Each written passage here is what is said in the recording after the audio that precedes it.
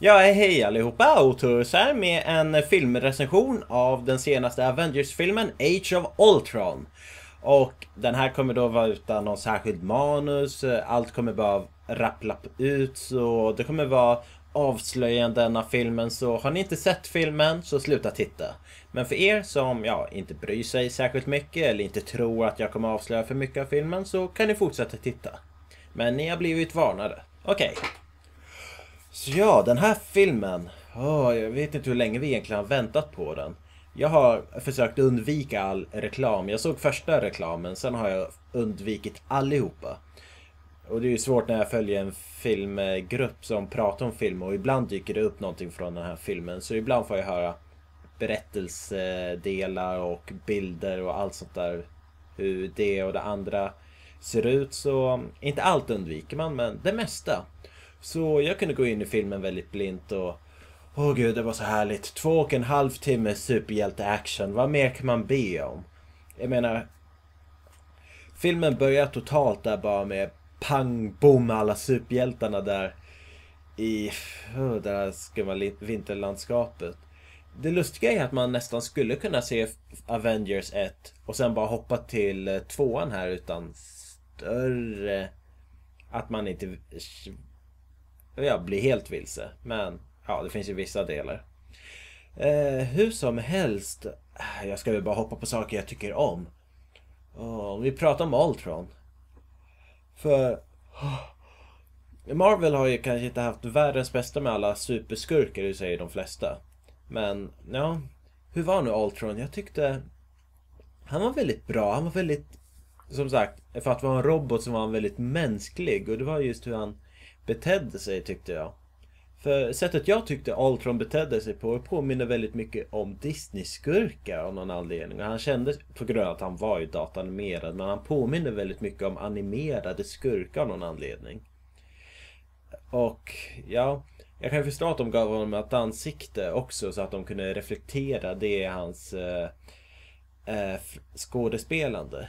För det är ju många gånger som han blir arg och eh, verkligen som tappar humöret eller försöker låta... För han tror ju att han inte är ond. Han tror ju att han gör gott med det här med... Han ska stoppa fred genom att stoppa allt liv och allt det där. Nej, jag menar han ska skapa fred genom att ta koll på allt liv. Så menar jag. Och lite det här just med hårda sättet, metoden, lite det här sätt han har Ah, jag måste se filmen flera gånger för det finns vissa delar av honom som jag kan känna igen mig i. Men jag kan inte riktigt eh, eh, ge motiv till det än så det hoppar jag. Men som sagt, jag tyckte väldigt mycket om honom. Men om man kollar lite på Ultrons design. han ser ut som att han har snott designen från en viss annan robot från en viss filmserie. Och på tal om det. Eh, för när väl Iron Man kommer med sin Hulk-krossar-rustning. Oh, det var härligt. Jag tyckte hans design var lite som vad jag tycker att Autobotter i de här Transformersen borde mer se ut som. För jag tycker de är alldeles för som spinkiga och de har inte så mycket av den här plåten på sig. Men just hur hjärneroboten såg ut så, ja, det tyckte jag om. Uh, Ultron var ju inte så illa heller. Den är ju ganska lik som sagt, Megatron från Transformerserna men ändå lite mer kött på hans ben, så att säga. Men... Ja, det var Ultron det. Vision, vi hoppar på Vision på en gång för jag var väldigt så här nyfiken hur de skulle göra honom och de gjorde honom nästan precis som serietidningarna. Jag menar han ser precis likadan ut med färgerna, bara lite så detaljer bort här och där men Ja, det är en riktig person där. Först är det ju såklart jättemycket dataanimerat men hela hans scen han föds, det tyckte jag var väldigt, väldigt vacker scen hur han Ja, Jarvis då som sätts i huvudet att han plötsligt är en eh, levande varelse. Det måste ju kännas lite skumt. Och det tyckte jag hon fick till där ordentligt. Och ja, han är lite som om man ska säga vad hans roll i laget är. Det känns lite som spot... Sp Eh, jag menar Spock från Star Trek. Det är grann den här personen som inte riktigt förstår människor och känslor men eh, värdar, värdar om allt liv. Så ja, det känns lite som det är den rollen Vision kommer ha. Och såklart så har han den här evighetsstenen i pannan så man undrar Kommer Vision bli dödad? Eller kan han klara sig utan den där stenen? Det får vi se. Eh, men... Ja. Så jag tyckte verkligen om de två robotarna där då. Det var ju väldigt härligt i början för när Ultron vaknar och han är bara det här svarta stället. Och inte ser någonting men ja, och pratar med Jarvis. Jag tänkte väldigt mycket på Mewtwo från Mewtwo-filmen för det känns lite som Mewtwo slår tillbaka här. Med Ultron slår tillbaka. Så det är lite lustigt. Likheter med Mewtwo och som sagt som Marvel själva har gjort likheter med Pinocchio. Ultron är som Pinocchio som har gått fel. Och om man säger att Jarvis hade varit hans Benjamin syrsa så gjorde Ultron något som Pinocchio gör i eh, boken. Att döda Benjamin syrsa så det är lite kul. Det är väldigt kul. Jag får se om de har lagt in flera likheter med Pinocchio från böckerna i Ultron här. För det är väldigt kul faktiskt.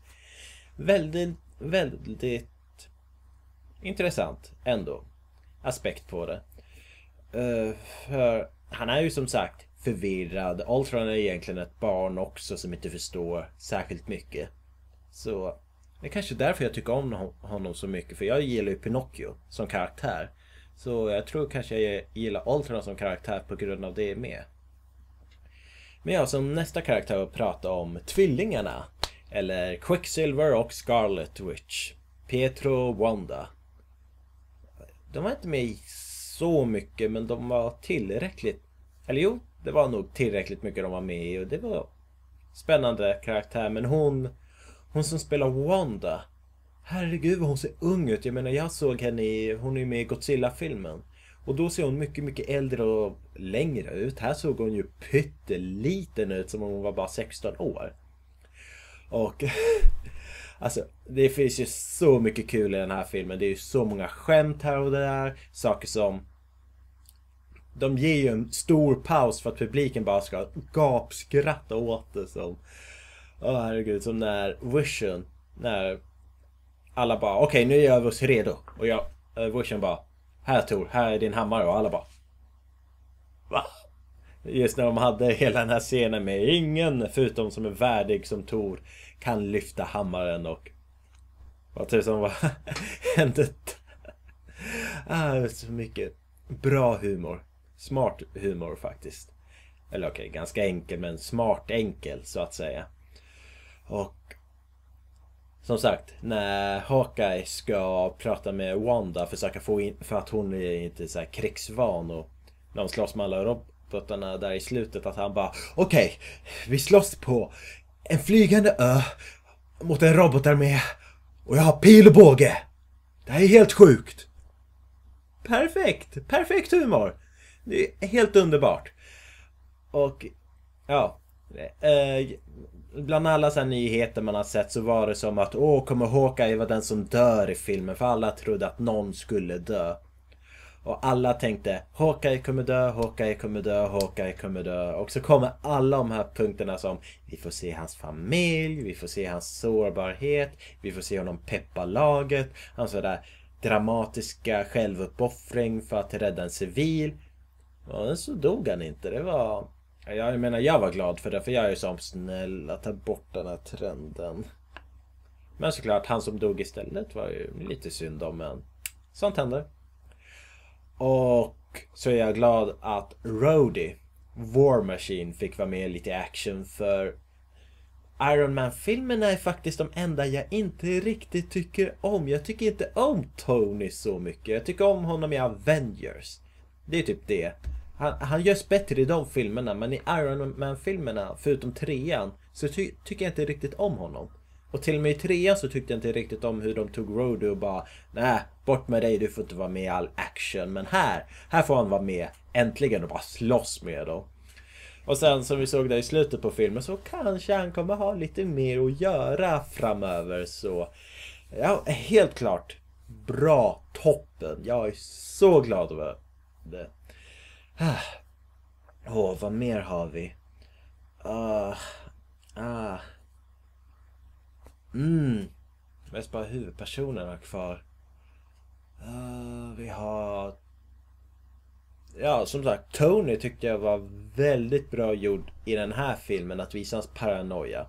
Och det här, en sak som var väldigt bra just att de byggde upp med, för hans fruktan var att alla andra skulle dö, men inte han själv för att, ja, han, han gör ju alltid saker åt sig själv, men det här det här som det är som hjälte. Man vill ju inte vara där och misslyckas. Man vill ju hellre dö än misslyckas. Och hoppas på att ja, någon klarar sig förutom sig själv. Och sen att Fury säger där i slutet med att ja du Du var rädd just för att du var den enda som överlevde. Alla andra var de som dog. Men då går vi tillbaka till något som sades väldigt, väldigt tidigt i filmen av Steve. Med vad gör vi? Vi slåss tillsammans. Om vi förlorar, då gör vi det tillsammans. Som oavsett vad. För Tony är ju som, ja vi måste ju kunna skydda oss. Men samtidigt, ja men vad ska vi uppoffra oss för att känna oss skyddade? Då är det kanske ingen mening för det ändå, för då har vi förlorat vilka vi är med det. Och det är ju det. Stå tillsammans och fall tillsammans. Aldrig enskilt eller separerade utan tillsammans ska man stå. Och jag tror det är jätte, jättemånga som kommer missa den eh, den läxan så att säga men jag hoppas att folk ändå uppfattar det för det är en bra läxa. Alltid stå och vara enade tillsammans. Och ska du dö för det du tror på så får du väl dö för det du tror på. Ja, vad finns det för annat? Oh, men det var så mycket humor. Och så många citat från Ultron. Jag menar, jag citerar massa av hans citat som när han kom in och bara Ni är alla inlindade i trådar. Men ska göra oss fria och allt det där. Eller när han kollar upp på nätet och försöker förstå. Okej, okay, vad är det för fred jag är menat att upphålla? Och han bara nej, nej, det här är ologiskt. Det här funkar inte. Det var som jag menar, allt uppbyggnad i hans personlighet tog bara 10 sekunder. Men det är allt som behövs för att det är så enkelt. Man ser på krig och det är ju helt enkelt, man kan inte förstå krig. Krig är något oerhört galet och det kan jag förstå. Jag känner, det är det, den delen jag kan känna igen mig i Ultron för.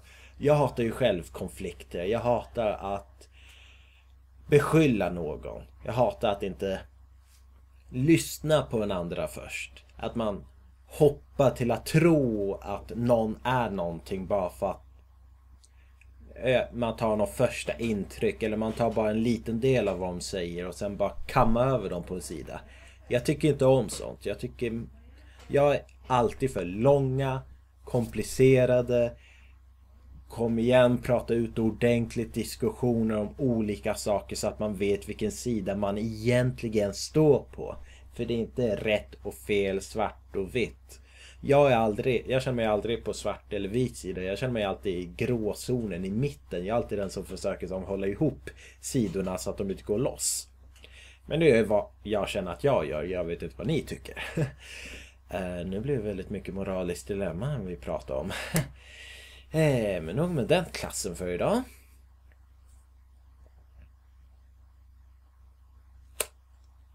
Jag måste se filmen igen. Så får vi se vad för annan humor och så. Jag kanske gör några skojvideos med Ultron nu. Men ja, så helt klart en fullpackad actionfilm. Den var väldigt härlig att se. Jag längtar till att ha den på DVD igen. Det är så mycket att se på. Jag menar, jag tror jag, tror jag kommer dela upp den i avsnitt. För det känns lite som avsnitt av en serie som ser bara en halvtimme i taget så räcker det faktiskt. För att det är så sjukt mycket som händer i de här filmerna. Åh, oh, oh. och det kan jag prata om för en, en, sak som jag gillar att de gjorde i första Avengers, att ha Loke som slåss med var och en. Med Captain America, Järnmannen och sen Thor. Och såklart Hulken. Så gör Ultron samma sak. Han får också bemöta var och en av de stora fyra då i Avengers. Mot Iron Man så var jag verkligen som yeah, jag vill se det här och Ja, det var ganska kort men härlig strid. Jag menar, det kändes spännande. Men sen han mot Captain America, då var det som okej, okay, du har skölden men sen tapp, när han hade tappat skölden och Black Widow kommer och hämtar upp den. Så har Captain America på något sätt fått så här strypgrepp bakom Ultron. Man bara... Hur lyckades du med det? Och sen då såklart... Eh, sen var det... Då Ultron bara Tor! Och hoppade på Tor då utan... Ja. Eh, det var lite kort. Men det var härligt när Vision kom med hammaren och bara poff! Slog iväg honom. Det var härligt. Och såklart Hulk hade inga problem med honom. Åh, vänta, jag kom på någonting, jag kom på någonting. Åh, vad var det? Vad var det?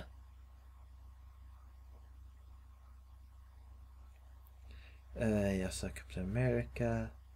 Tor, just det, just det. Tors lilla resa när han går in i vattengrejen. jag såg det som Jag har läst manuset! När han kom som för att uh, eh, se till så att Vision blev färdig. Men ja, som sagt, det är väldigt, väldigt smart uppbyggd film. Man ser så här delarna som håller ihop så helt klart, jag tycker det här var en bra bra fortsättning på Avengers. Det är, så här, det är större, det är mer spännande, de kan hoppa in i actionet, allt på en gång och det är så många strider. Och så många eh, som Josh Whedon, han som var regissören för filmen, som han sa. Man går inte bara större, man går djupare. Och det fick man se här. Man fick se mycket mer djup i alla karaktärerna. Som att se alla deras fruktan, rädslor och allt sånt där. Och deras liv och vad de längtar efter. Och, alltså det där med Black Widow var ju väldigt hårt. Och så. Säkert kommer det träffa många. Speciellt lustigt för hon säger ju det här med att i hennes träningsprogram så steriliseras de. Och när hon filmade filmen, hon Scarlett Johansson, skådespelerskan. Hon var gravid under när hon skådespelade så man undrar lite om det kändes konstigt att prata om det när man var, stod gravid där på scen. Men ja. Sådär, det tror jag var allt. Eller hur? Ja, ingenting mer? Nej, okej. Okay. Tack och hej då allihopa. Vi får se nästa film jag pratar om. Kanske Ant-Man som är på tur. Och den verkar spännande också. Så hej då!